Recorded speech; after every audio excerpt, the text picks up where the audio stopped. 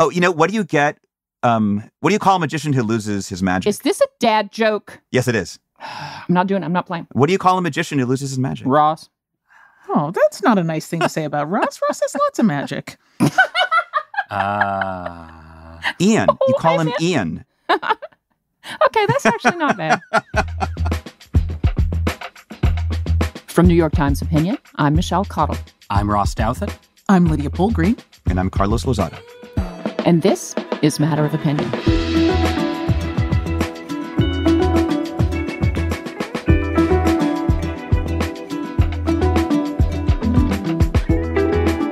Okay, so as some of you already know, my younger kid is a rising senior in high school, which means there has been a lot of talk at our house about where to go to college.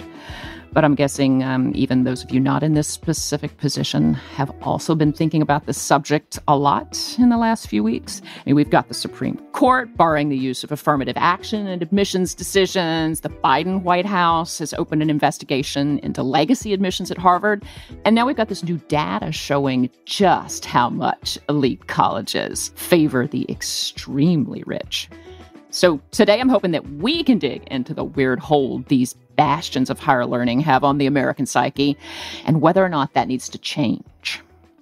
Now, before we get too far into this, though, I want to get a little personal and let's just talk about where we're all coming from. So, how do you all think your college experience shaped the trajectory of your life? Um, I went to a, a small liberal arts college called St. John's College in Annapolis, Maryland.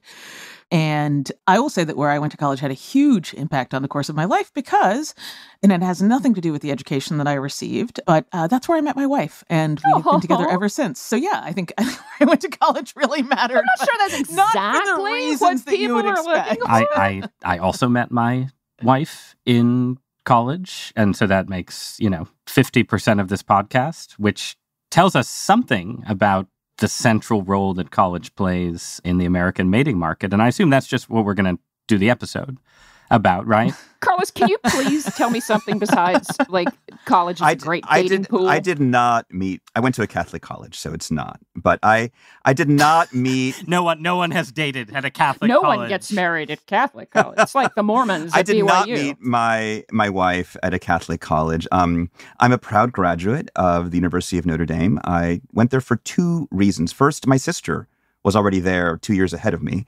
Uh, she was the smart one. And so I figured it was good enough for Rosie, it was good enough for me. Also, the mandate was basically to go to the best Catholic school we could find uh, in America. And so for us, that was Notre Dame. And it's been a huge part of my life. You know, like not not my wife, but a lot of my closest friends are people I met there. Um, I taught for Notre Dame's Washington program, a journalism class, for many years. I serve on like an advisory council at the university. I return to campus often to give talks or meet with students. So it's been kind of a, an ever present, you know, aspect of of my life. It wasn't easy while I was there. We sort of struggled financially. You know, I did, and and my family did to pay for it. I took out loans. I did. I, know I worked part time, but it's a place that remains very, very kind of near to my heart. It's it's funny actually. I um um I guess after a fashion am also a legacy, although the, the college that I went to is not especially selective. Um I think over half of applicants are admitted. selective selective presumably in that to apply to St. John's is to identify as a certain kind of nerd, right? Yes, and I I was and and remain a certain kind of nerd. Um, actually, my father went there. He only went for a year, and then it. Uh, my older brother also attended the same school, uh, and he and I were in the same year, but he started a semester after I did. So there is a bit of a bit of a family tradition.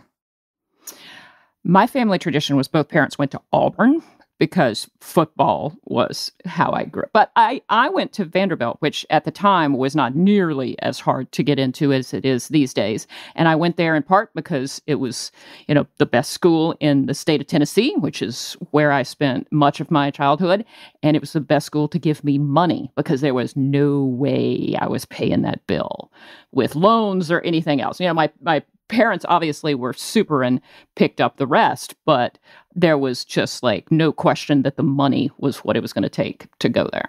So Yeah, I mean, I, I just just would would add that I was a full scholarship student. I got Pell grants and you know the the works. Um, that's how I managed to go to a small private college as well. So, in other words, for private college graduates here, Well, no one has asked me where Well, I went to college. Well, Well, I mean, we Ross, all we all know know where you went I to went to. I went to a school. It's, it's, It's outside Ross, Boston. where did you go to college?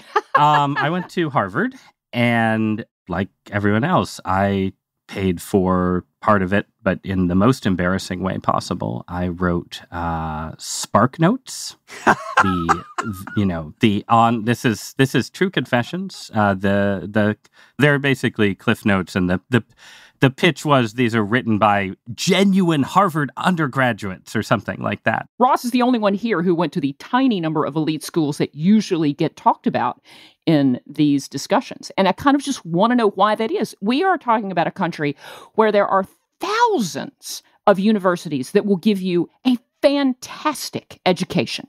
You do not need to go to the top 10, God love them. Um, and yet, that's all anybody ever seems to talk about. And I well, just who's, don't who's understand. anybody, Michelle? Well, fine. The chattering class when you're talking well, when you're talking about these but- admissions fights in court, things like that. They're generally about what Harvard's done or Yale's done So, or Stanford's two done. things two things can be true at the same time as usual right one is that these schools exert enormous influence over american life particularly as training grounds for the elites of government and science and the private sector and culture and it can also be true that the attention that is paid to these schools is out of proportion even to that enormous influence that they exert in part because so many of the people in the national media and in the entertainment industries who cover and obsess over these schools themselves are products of that environment, right? Like a lot of elite journalism institutions would fall apart without their feeder from the Harvard Crimson and the Yale Daily News and the Daily Princetonian, you know? Fall Um, apart or be dramatically improved. I mean, let's Improved, Not, you know, yeah. let's, let's not. let's not- Um, you know, Tomato, and think about tomato. think about how many movies are made set at Harvard University, right? Like Reese Witherspoon didn't go to like UVA law, right? And Legally Blonde.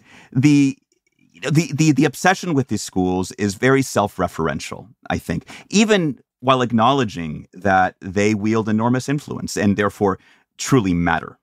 I totally agree, and I think that it's undoubtedly true that these um, these these schools exert an outsized um, influence on our kind of like cultural atmosphere. Um, but there's also just kind of facts, right? Like you look at the, the the presidency. I mean, Joe Biden is the first president since Ronald Reagan to not have graduated from a uh, an Ivy League school. Um, you look at, I mean, I'm just thinking about like these extremely high prestige, lots of power, and also very exclusive. And in the case of the institution that I'm about to mention, the Supreme Court, very little accountability and um, and and sort of checks on that power, as we've been finding. I mean. The current Supreme Court, um, there are only two people on the Supreme Court who did not go to an Ivy League undergrad, and that's Amy Coney Barrett and Clarence Thomas, and only one person who didn't do an Ivy League law degree, and that's uh, Amy Coney Barrett, who I believe went to your Notre Dame. Uh, at, at, at your alma mater. Um, and it, and yeah, you know, you look at the Supreme Court, you look at the presidency, you look at you know the editors of the major newspapers, you look at you know who gets a job as a comedy writer on Colbert or whatever, and and it's just clear that these are the pathways to the to the. This is not to to disagree with you, Carlos, but I mean, it, Oh, no, it- I- the, the I- struggle I is real. I said the same thing. Well, I the said like struggle they, they is- no, exert no, enormous influence, but our attention to them is beyond even that influence. Yeah, Yeah. and the struggle is real if you think you're going to grow up to be a Supreme Court justice, which, okay, everyone has the right to believe they're going to grow up to be a Supreme Court justice. But we are ruining generations of young people, not just emotionally, but financially. I'm like, I have actually sat down with friends of my older child when they were all applying to college, and I'm like, yes, you can like go all in and try to get yourself into Princeton or Harvard and take out loans and be paying back those loans for a billion years. And is that really worth it? And I just don't think it is for 99.9% of the country. I just don't.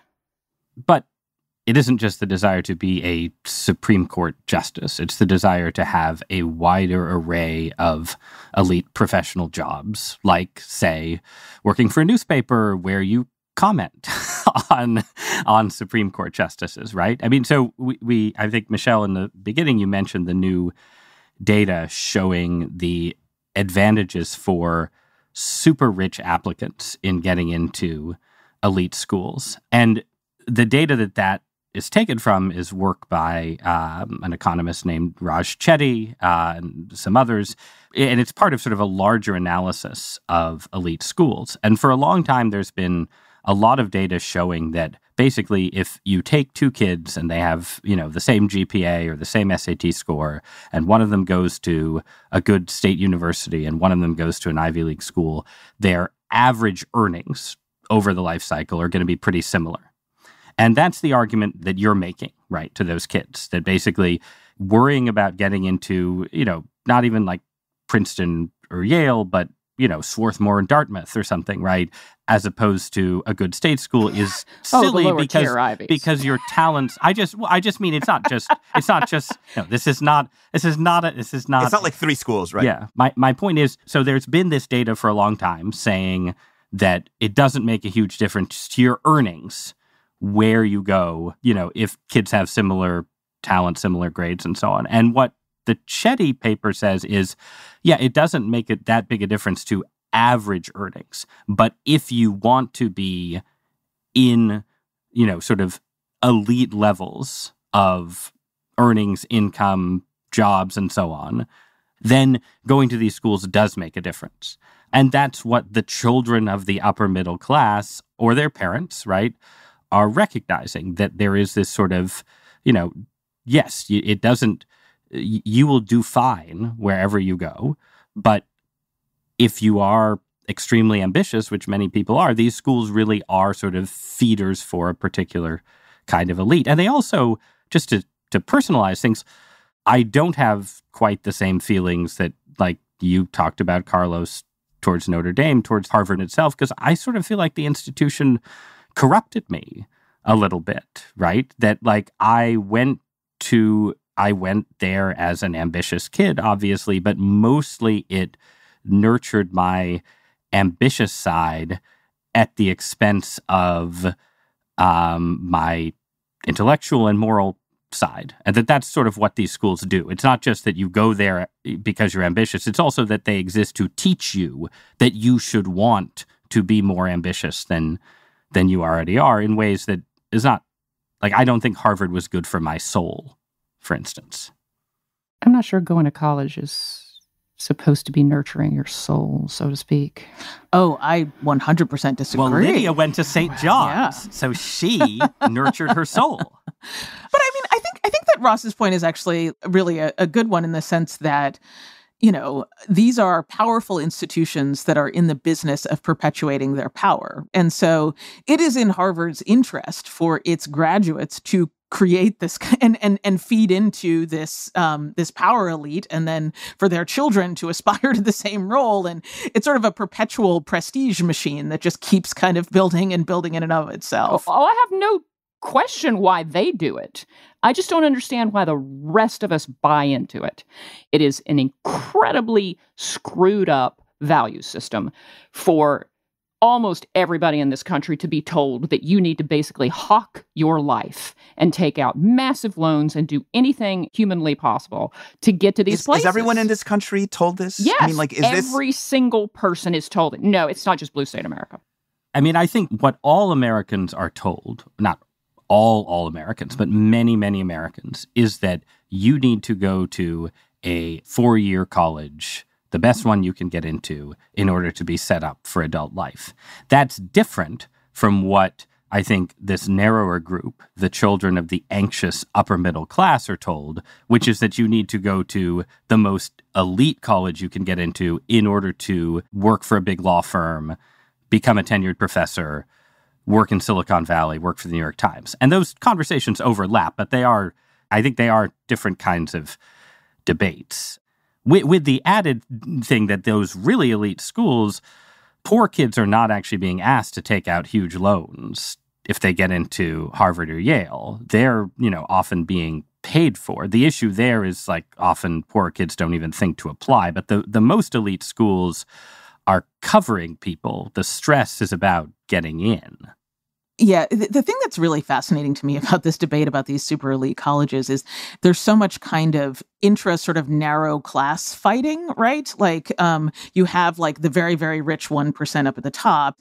But one of the f- interesting findings of this new data is that of the people who apply to go to these schools, those who are most disadvantaged are actually that anxious upper middle class that right. you spoke about, right? Yes. Um, so it, there is this weird kind of intra intramural fight going on between like the top, the very very top, and the class right below it that is um, feeling extremely anxious about its ability to have access to opportunity, and that to me is the thing that's so fascinating. And then the other thing that you have is you have a group of that that that anxious upper middle class I think has been taught to think that the real competition for those spots is, you know, minorities and people who get other kinds of preferences.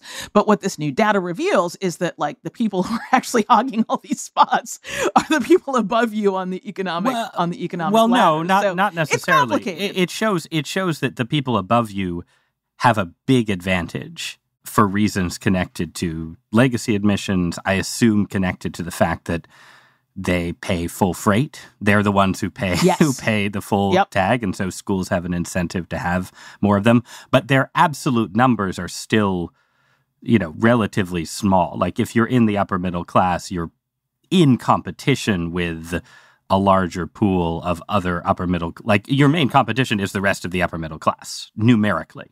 That I mean, that's that that's that sure but like there, you're there not wrong pers- to see your neighbor as your neighbor and your neighbor's kids that way but I think there's also a perception that the number of slots that are available is limited by creating space for, you know, Latinos and Black people and you know um, LGBTQ people and and so on. So when really what we've learned over the years is the people you should be targeting are the kids who take squash lessons and lacrosse. Yeah, and I don't know if you've Lydia, you in particular, who uh, you know you travel the world significantly. If you've ever had conversations with you know non-Americans about the college yeah. game here, and consistently the thing that, the, in, in my experience, that people find the weirdest is that athletes would receive an advantage mm-hmm. when applying to college. Like that just seems absurd to a lot of people. And that says something about the role of athletics in American life, which may be very, you know, healthy in many ways. But that has always struck me as a super bizarre part of the admissions game. Now, in the just getting back for a second to the Chetty paper, what the one thing that struck me the most, and this this dovetails with what you, Ross and Lydia, were were saying earlier, is my favorite finding is that even within legacy admissions, there is a bias toward the wealthier legacy applicants, right? Like if your parents are in the top 1% of income earners and you're a legacy, um, you're five times more likely to get in than a non legacy applicant uh, with similar grades and test scores, right?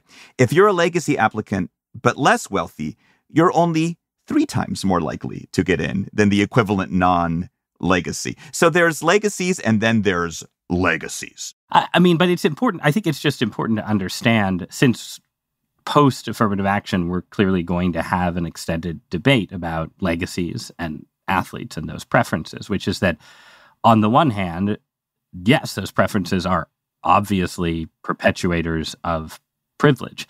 At the same time, they are they're not being embraced because these schools just, you know, love the idea of love the idea of, of having rich kids there. It is part of the financial system. The, the way this is set up is schools want kids who one their parents can pay the whole price tag, which will be, you know, $100,000 a year at elite schools by the time my kids are applying to college. So you need you need kids whose parents can pay $400,000 per kid uh, you need some number of those. And then you want kids whose parents or the kids themselves, as they grow up, are more likely to donate money to the school. And I think I, I am sure that there's a correlation between being on a sports team in college and having the kind of you know warm feelings that Carlos has towards his alma mater and being more likely to give money. And so if you did away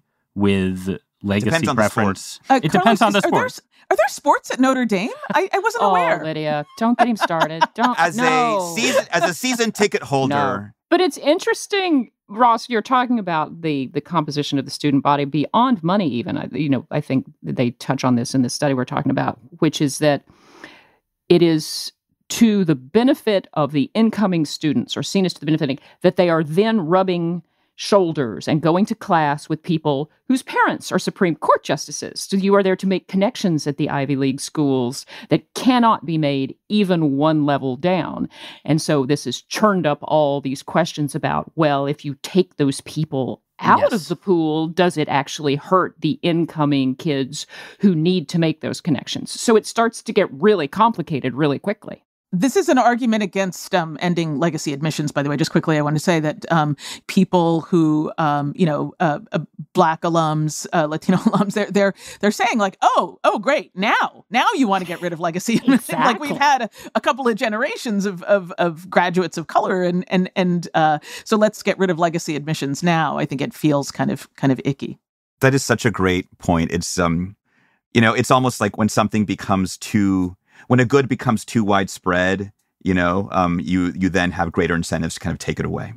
The, the other thing that I think is worth thinking about, because I think one of the things we've been circling around in this conversation is the idea like, you know, this is just this tiny group of colleges. Like, why does it exert um, outsized impact and so on and so forth?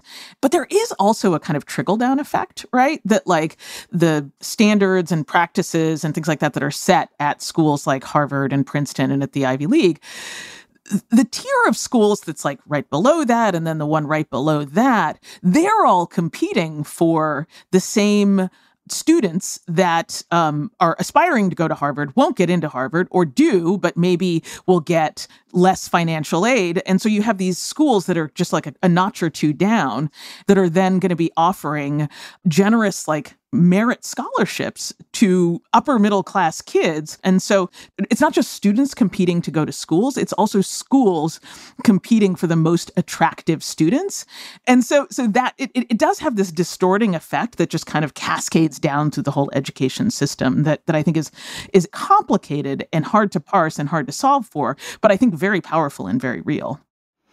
All right, so we talked about the system we have. Let's take a quick break, and when we come back, let's talk about the system we want, or whether we should just blow the whole thing up.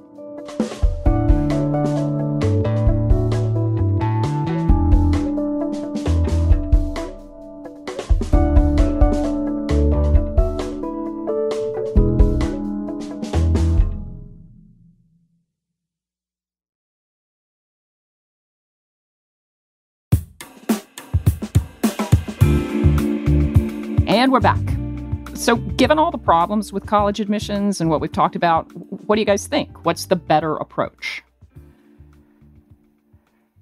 Ross.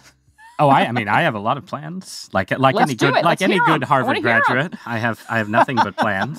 Best and brightest. Um, no, so one, I think so. Start at the top and on the evidence we have, the Ivy League is going to be pretty hard to dislodge in that role.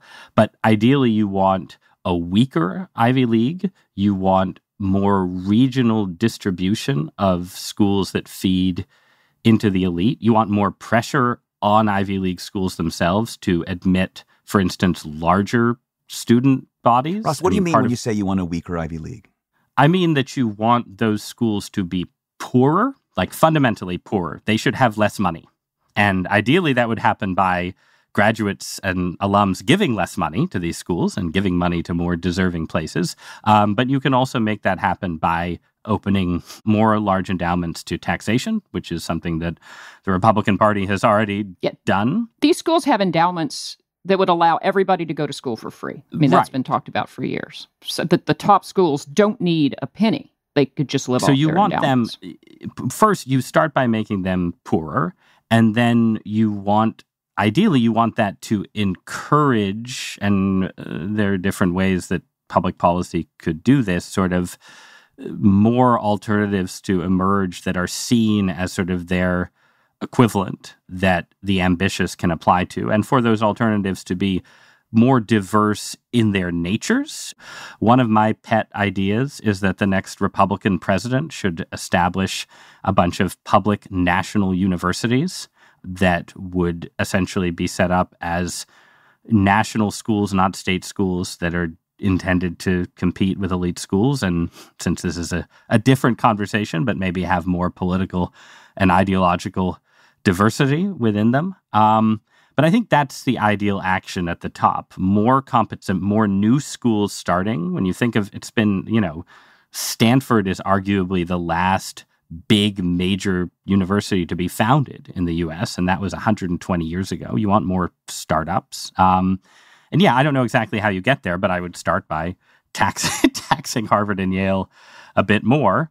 And then further down, you want more diversity in the distribution of funding for state schools and community colleges and so on. You want more experiments with two year and one year and vocational programs that diversify the way people think about college as a ticket to the middle class, too. But that's the other part of the equation. Which it is.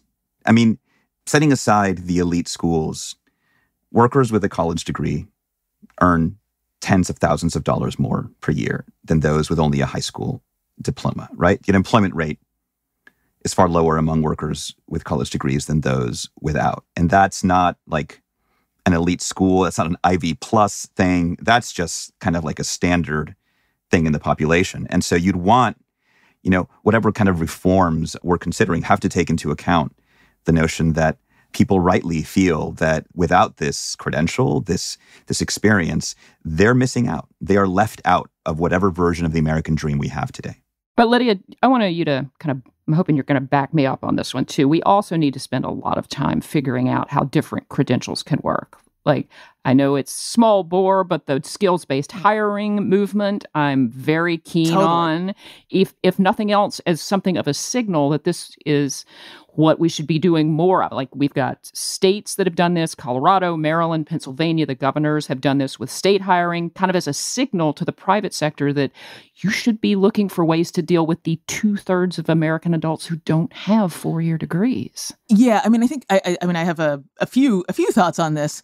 The thing that I actually think about a lot is that the biggest category of people who I think need help are people who have started some form of higher education and not finished it, right?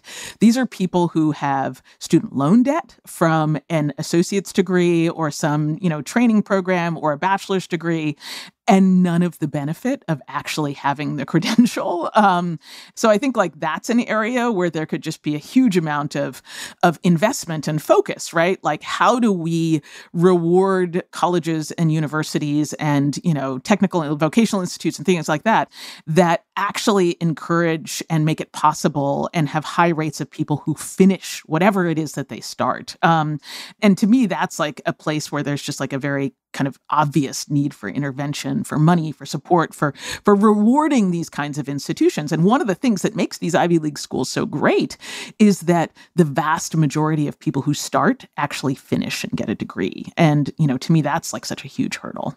Right, but it's reward. It's reward and also punishment. Definitely. I mean, yeah. I think I think you need the challenge with all sort of student loan debt relief programs is that you don't have a mechanism for making sure that pred- f- functionally predatory institutions don't just exploit them to continue not sure. graduating kids after taking their money. And this extends, I should say, to portions of the Ivy League establishment, not the undergrad programs, but like, you know, the master's programs at many Ivy League schools. People graduate from them, but they are functionally predatory in the scale of the loans that they ask people to take out versus the reward. So this this happens at the elite level too. You need a mechanism whereby institutions are held more accountable for encouraging students to take on debts unwisely and with with poor rewards. This is a type of conversation that easily you know reverts to and is colored by our individual experiences. And you know, I I was able to attend um, a, a, master's program, a, a, a, professional master's program at an elite school uh, because I benefited from affirmative action. I earned a master's degree in public policy from Princeton thanks to a scholarship that was aimed specifically to bringing in, you know, Black and Hispanic and and Asian kids into the into the policy arena. I could not have afforded it otherwise.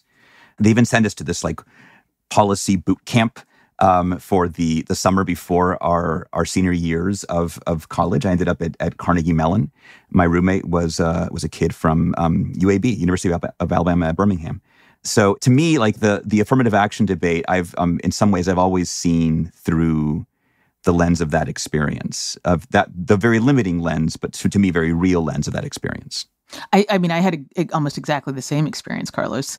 You know, I wanted to have a career in journalism and uh, didn't quite know how to do it and then got accepted to Columbia University's journalism school. And for me, that was an opportunity to get access to a network. And, you know, I the, the scholarship that I received was not specifically uh, for ambitious young black journalists, but um, who, who, are we kidding? I mean, I think. But wink, you know, wink, right. Wink, yeah. wink. Like, I, I have a pretty good idea of why they picked me, in, in addition to my potential. Um, and, you know, I got to go to a very, very expensive and very prestigious and elite master's program at, at, basically for free and was very grateful for it. And, you know, two years later had an entry level job as a reporter at the New York Times. So, um, it's hard to argue that that that it didn't work, right? Like that getting access to a set of networks and people and you know put aside everything that I learned there and I you know learned some useful things, but I think the most valuable thing about that experience and this is you know what makes me wary about saying like oh Ivy League doesn't matter this like it did matter. You know, I think that my path to becoming a, a reporter at the New York Times would have been quite a bit longer had I not had that experience at that specific university at that specific time. You know, a lot of what we're talking about and a lot of the debate about college admissions is about what we need to stop doing, right? Affirmative action is unconstitutional. Legacy admissions are unfair.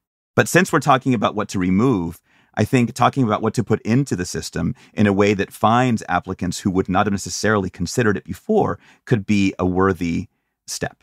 And one of the proposals that you know folks like Richard Kahlenberg and others are are banding about is to just make it much you know basically do affirmative action but on a on a class basis. If you end legacy admissions, you know you end special preferences for athletes or um, affirmative action, and simply do it on a on sort of like you know seeking out low income kids underprivileged backgrounds, regardless of race or other factors, that you may in fact increase quote unquote diversity, even at these elite schools. Ooh, so we, are going to get proactive here. I would be remiss if I did not, you know, before we move to a conclusion, also bring up the big demographic shadow hanging over the entirety of American higher education, which complicates any kind of prescription, which is oh, that Ross. the entire system we have is built for a population of students that is just not going to exist in a, a, population size, I mean, uh, on a 15 to 20 year time scale. And part of that is because of rapidly declining birth rates. Um, so all adaptation is going to happen in a context where sort of elite schools and especially schools sort of one tier down from the elites are competing for a shrinking group of students um, oh my um, God, you're you're. This is your pitch for people to have kids now, no, so I'm that not, they no, can no, easily no, get into I Harvard. Don't, I don't. 50 now, no, this is where years. my self interest, you know, as a parent of small of small children, I'm counting on the demographic bust to make them incredible candidates oh, for admission oh, Ross, in the year Ross. of our Lord 2040. I think we're 35. gonna we're gonna have to leave it there with Ross's plea for fertility. And when we come no, back, no, no, no, no, that only my kids, only my kids are applying for college 15 years from now. All righty, so let's leave it there. When we come back, hot and cold.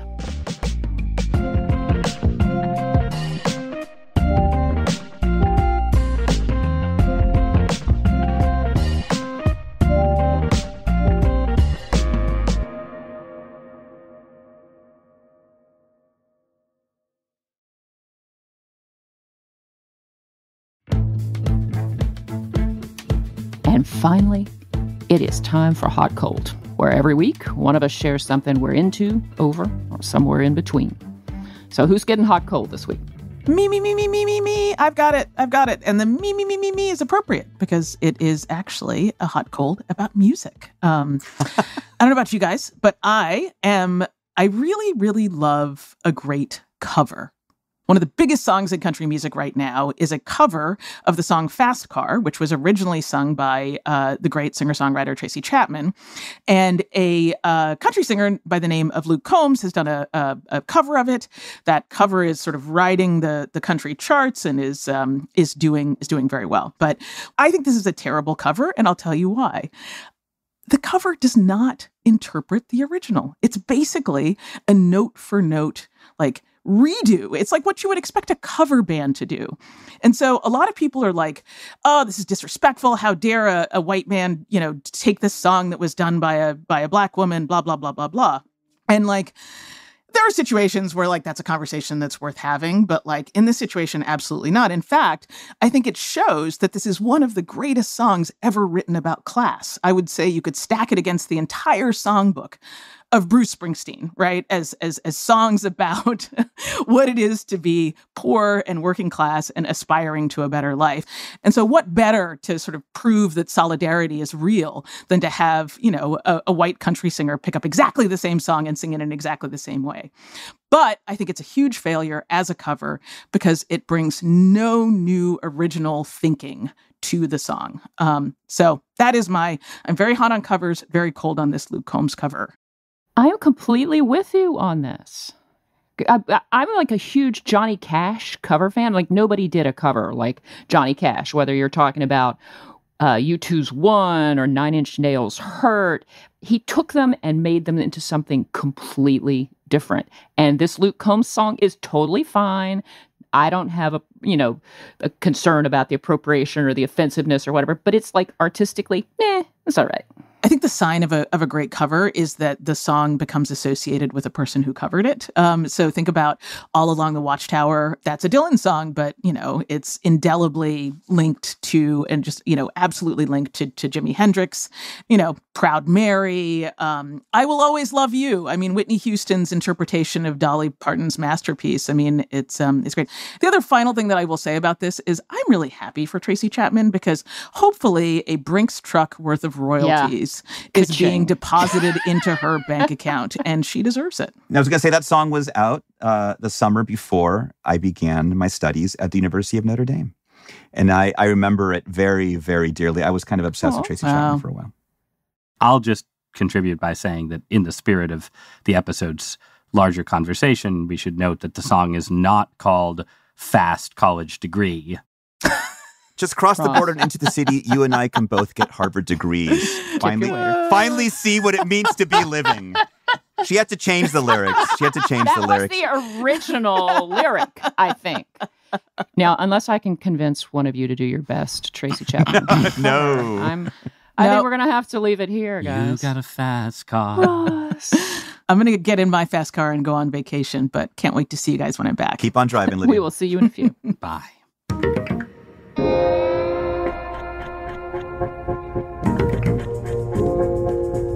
Thanks for joining our conversation. If you liked it, be sure to follow Matter of Opinion on your favorite podcast app. And let us know what big question we should think about next by emailing us at matterofopinion at nytimes.com. Matter of Opinion is produced by Sophia Alvarez Boyd, Phoebe Lett, and Derek Arthur. It's edited by Stephanie Joyce. Our fact check team is Kate Sinclair, Mary Marge Locker, and Michelle Harris. Original music by Isaac Jones, Carole Sabouraud, Sonia Herrero, and Pat McCusker. Mixing by Carole Sabouraud. Audience strategy by Shannon Busta and Kristina Samulewski. Our executive producer is Annie Rose Strasser.